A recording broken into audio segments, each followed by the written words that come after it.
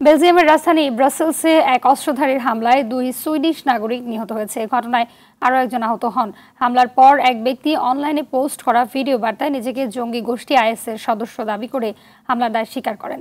হামলার সময় বেলজিয়াম ও সুইডেনের মধ্যে একটি ফুটবল ম্যাচ চলছিল। মাঝখানে এই খেলাটি পরিত্যক্ত ঘোষণা করে কর্তৃপক্ষ। ওই ঘটনার পর বেলজিয়ামের সর্বোচ্চ সতর্কতা জারি করা হয়। হামলাকারীকে খুঁজে বের করতে ব্যাপক তল্লাশি শুরু করেছে স্থানীয় পুলিশ। বেলজিয়ামের আইন কর্মকর্তা জানান, সুইডেনের কোরআন অবমাননার ক্ষোভ থেকে সুইডিশ নাগরিকদের টার্গেট করা হয়েছে বলে ধারণা করা হচ্ছে।